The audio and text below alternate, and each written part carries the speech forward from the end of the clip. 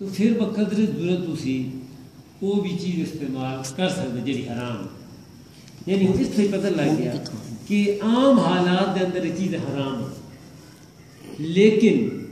हंगामी हालात बेच और एमरजेंसी की हालत, हालात, हालत बेच ये चीज़ अभी थोड़े वास्ते जाए।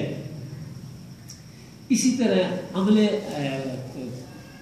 कतले खता कतले कतले अमद होता जरा बाकायदा तैयारी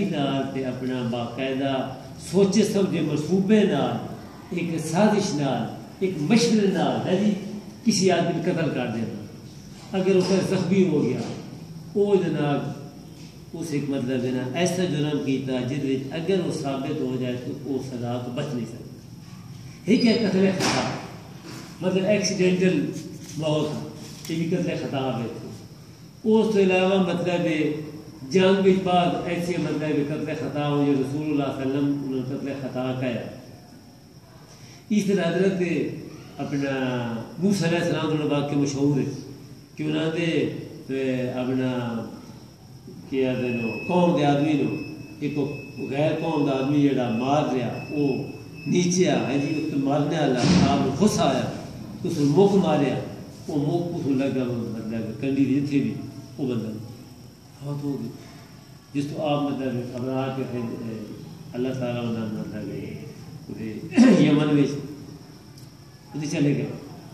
उस उथुन भी करते उथुन इंग्लिश ग्रंथन सडन प्रू प्रोवोकेशन किलिंग अचानक कत्ल हो गए इसकी सजा जेड़ी है सजा लेकिन बहुत सजा नहीं इसी तरह कोई मतलब मसला उससे ताबीर जिन्हें फुकहा दी उन्हें कहा अगर गलत है तो दीवार पर फेंक दे जाए। उन्हें किसी मतलब ताबीर किया वो कुरान हदीस ही नहीं। उससे भी अगर खता हो गई तो उन्होंने बात भी एक दर्जे सवाब मिल सी। अगर वो मसला कुरान सुन्नत के मुताबिक दुरुस्त हो गया तो फिर दो दर्जे सवाब मिल यानी मेरा, सवेरे मुख्तसर जरा बयान करने तो आप मैं आख्या मैं उन्होंने जवाब दिता